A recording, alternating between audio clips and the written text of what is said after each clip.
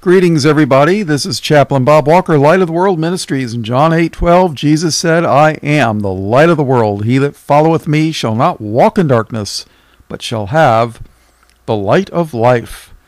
Turn your King James Bible. We're going to read from Isaiah chapter 34, verse 1. Come near, ye nations, to hear and hearken Ye people, let the earth hear, and all that is therein, the world and all things that come forth of it. For the indignation of the Lord is upon all nations. What is indignation? Extreme hatred. For the indignation of the Lord is upon all nations, and his fury upon all their armies. He hath utterly destroyed them, he hath delivered them to the slaughter. You see, the Lord writes the future as if it has already happened in the past. Verse 3 Their slain also shall be cast out, and their stink shall come up out of their carcass, and the mountains shall be melted with their blood. Verse 4 And all the host of heaven shall be dissolved, and the heavens shall be rolled together as a scroll, and all their host shall fall down as the leaf falleth off from the vine, and as a falling fig from the fig tree. Now, where do we read that in the New Testament? Let's take a look. Well, the parallel verse for Isaiah 34 and verse 4 is found in Revelation chapter 6 and verse 11, 12, 13, and 14. So let's take a look at Revelation chapter 6 and verse 11. And white robes and white robes were given unto every one of them, and it was said unto them that they should rest yet for a little season until their fellow servants also and their brethren that should be killed as they were should be fulfilled. And I beheld when he had opened the sixth seal, and lo, there was a great earthquake, and the sun became black as sackcloth of hair and the moon became as blood. That's also mentioned in Joel, the book of Joel, and it's also, uh, if I remember correctly, in Matthew 24. But this is what we were referencing in Isaiah 34 and verse 4, verse 13. And the stars of heaven fell unto the earth, even as a fig tree casteth her untimely figs when she is shaken of a mighty wind. And the heaven departed as a scroll when it is rolled together, and every mountain and island were moved out of their places. So let's go back to Isaiah 34 and verse 4. And all the host of heaven shall be dissolved, and the heavens shall be rolled together as a scroll, and all their host shall fall down as the leaf falleth off from the vine, and as a falling fig from the fig tree. Now, didn't we read about being dissolved in Isaiah 34 4? It says, Then all the host of heaven shall be dissolved. Well, parallel verse for that is in 2 Peter chapter 3, verse 10. But the day of the Lord, ah, here we go, the day of the Lord, will come as a thief in the night, in the which the heavens shall pass away with a great noise, and the elements shall melt with fervent heat. The earth also and the works that are that are therein shall be burned up. Seeing then that all these things shall be dissolved. Ah, here we go. Word association, very important in the King James. The modern Bibles destroy word association. Seeing then that all these things shall be dissolved, what manner of persons ought ye to be in all holy conversation and godliness, looking for and hastening unto the coming of the day of God, wherein the heavens being on fire shall be dissolved, wherein the heavens being on fire shall be dissolved, and the elements shall melt with fervent heat. Nevertheless, we, according to his promise, look for new heavens and a new earth wherein dwelleth righteousness. Go back to Isaiah 34, starting in verse 5. Oh boy. For my sword shall be bathed in heaven. What's it going to be bathed in? Blood. Behold, it shall come down upon Idumea and upon the people of my curse to judgment. And upon the people of my curse? But the churches teach that God loves everybody. Do you know that there are people that God has cursed? Boy, you ask this question in a Free Will Baptist Church, and uh, chances are you bring it up in a Bible study and you'll be told to leave. Now, Idumea is part of Mount Seir, S E I R, and it has reference to Esau and Edom. And if you listen to the so called black Hebrews, uh, they'll tell you white people are Edom uh, well, there are those that are white that are Esau Edom, but no, not all of them. Definitely not. I don't believe Christians are Esau Edom. But take a look at this Malachi 1 and verse 4. Well, let's take a look We'll take a look at the whole chapter. Malachi 1 1. The burden of the Lord, the burden of the word of the Lord to Israel by Malachi. I have loved you, saith the Lord. Yet ye say, Wherein hast thou loved us?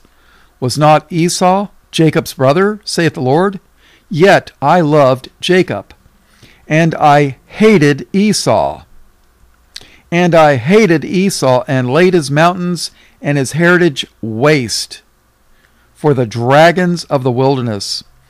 Whereas Edom saith, We are impoverished, but we will return and build the desolate places.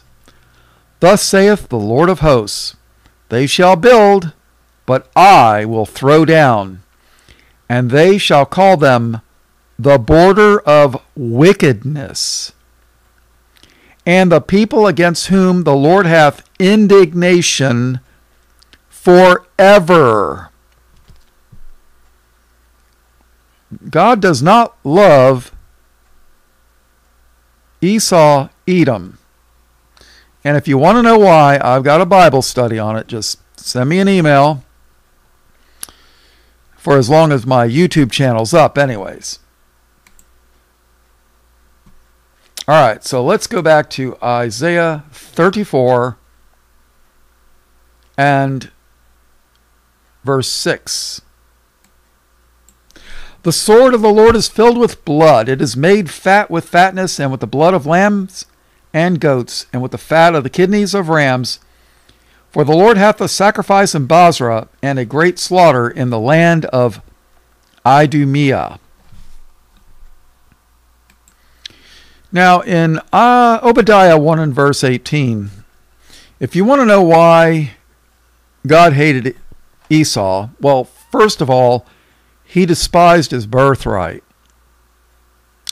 which was a gift from God, and he sold it for basically a bowl of beans That's how much he despised the gift of the Lord. But secondly, he polluted his bloodline by marrying into the Hittite Canaanite seed line, which came from the fallen angels. Now, 95% of your churches approximately will deny that's even possible, but they're wrong. They're wrong. What can I tell you? Of course, they're the ones that tell you God loves everybody. But let's read Obadiah 118, and you tell me that God loves everybody. And the house of Jacob shall be a fire, and the house of Joseph a flame, and the house of Esau for stubble, and they shall kindle in them. You ever heard of kindling a fire? And they shall kindle in them and devour them, and there shall not be any remaining, and there shall not be any remaining of the house of Esau, for the Lord hath spoken it. Now Amalek was a grandson of Esau. Numbers 24:20. And when he looked on Amalek, he took up his parable and said, Amalek was the first of the nations, but his latter end shall be that he perish forever.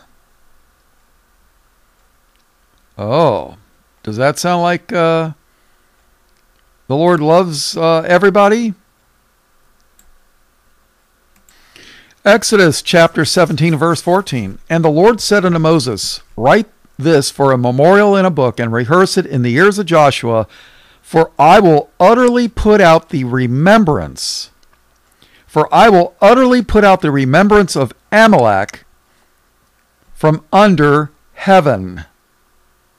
But God loves everybody. Uh, no. How about Exodus 17, 16. For he said, Because the Lord hath sworn that the Lord will have war, that the Lord will have war with Amalek from generation to generation. War with Amalek from generation to generation. Yes, uh, you know, that's why the pastors discourage people from reading the New Test, I mean the Old Testament don't read this kind of stuff because you'll ask questions that'll upset their theological apple cart. Make sure you read Genesis, I mean uh, uh, John 3:16, for God so loved the world God so loved the world that he's going to have war with Amalek from generation to generation. Yeah. All right. Let's go Bro, back to Isaiah 34. Verse 6 The sword of the Lord is filled with blood. It is made fat with fatness, and with the blood of lambs and goats, with the fat of the kidneys of rams. For the Lord hath a sacrifice in Bozrah, and a great slaughter in the land of Idumea. Isaiah 34 and verse 7. And the unicorns shall come down with them, and the bullocks with the bulls, and their land shall be soaked with blood, and their dust made fat with fatness. Now, people, it's the uh, owners of the media that has a white horse with a horn sticking out of its head and calls that a unicorn with a rainbow behind it and funny little multicolored stars coming out of its backside. You know, as it's flying through the air. No. You know what a unicorn is? It's the Indian or Asian rhinoceros, as opposed to the African rhinoceros, which has two horns. Matter of fact, uni means one. Perhaps you've heard of a, a uniform, a uniform, one form. You know, all the police, all the military, they all wear the same type of clothing. And uh, Matter of fact, the Asian or Indian rhino, its name is even called Unicornus rhinoceros or rhinoceros. Look it up. So, when did a rhino become a a white horse with uh, sprinkles and a rainbow? You know, the uh, LBGT whatever sicko thing. All right, verse 8. For it is the day of the Lord's vengeance. Ooh, that don't sound good for the unbelievers. For it is the day of the Lord's vengeance and the year of recompenses for the controversy of Zion. And the streams thereof shall be turned into pitch, and the dust thereof into brimstone, and the land thereof shall become burning pitch. What is pitch? Tar. Have you ever seen a road catch fire? Asphalt? Oh, yeah. Verse 10 It shall not be quenched night nor day. And that's this fire, right? The smoke thereof shall go up forever. From generation to generation it shall lie waste. None shall pass through it forever and ever. But the cormorant and the bittern shall possess it. The owl also and the raven shall dwell in it. And he shall stretch out upon it the line of confusion and the stones of emptiness. They shall be called, I'm sorry, they shall call the nobles thereof to the kingdom, but none shall be there, and all her princes shall be nothing. And thorns shall come up in her palaces, nettles and brambles in the fortress fortresses thereof, and it shall be an habitation of dragons, an habitation of dragons, and a court for owls. Now, dragons are always associated with uh, the devil and Satan as far as the Bible's concerned. Read Revelation chapter 12. The wild beasts of the desert shall also meet with the wild beasts of the island, and the satyr shall cry to his fellow. What's a satyr? According to Greek mythology, a satyr is a, perhaps you've heard of the, the god Pan, half goat, half man. From the waist down, it's a goat, and from the waist up, it's a man. That's a satyr. I don't know why they. I don't, I'm not saying that's what it is. I'm just saying that's what Greek mythology says it is. I don't know what exactly what it is in the Hebrew. And I'm not sure anybody does that lives on this earth. And the satyr shall cry to his fellow, the screech owl also shall rest there, and find for herself a place of rest. There shall the great owl make her nest, and lay and hatch, and gather under her shadow. There shall the vultures also be gathered, every one with her mate. Do you know in the book of Revelation it talks about the um, the fowls being filled with their flesh? Personally, I believe this is in reference to Revelation chapter 19 and verse 19. Revelation 19 19. And I saw the beast and the kings of the earth and their armies gathered together make war against him that sat on the horse and against his army. So the world's getting gathered to fight against the Lord.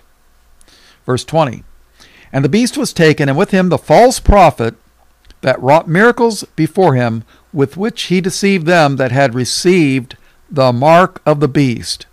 666. And them that worshipped his image, these both were cast alive into a lake of fire, burning with brimstone. And the remnant were slain with the sword of him that sat upon the horse, which sword proceeded out of his mouth, and all the fowls were filled with their flesh. And all the fowls were filled with their flesh. Say that real fast five times. So, Isaiah 34 15. There shall the vultures also be gathered, every one with her mate. mate. Verse 16 Seek ye out of the book of the Lord and read. No one of these shall fall, none shall want her mate, for my mouth it hath commanded, and his Spirit it hath gathered them. And he hath cast the lot for them, and his hand hath divided it unto them by line. They shall possess it for ever. From generation to generation shall they dwell therein. And that, everybody, is the end of Isaiah chapter 34.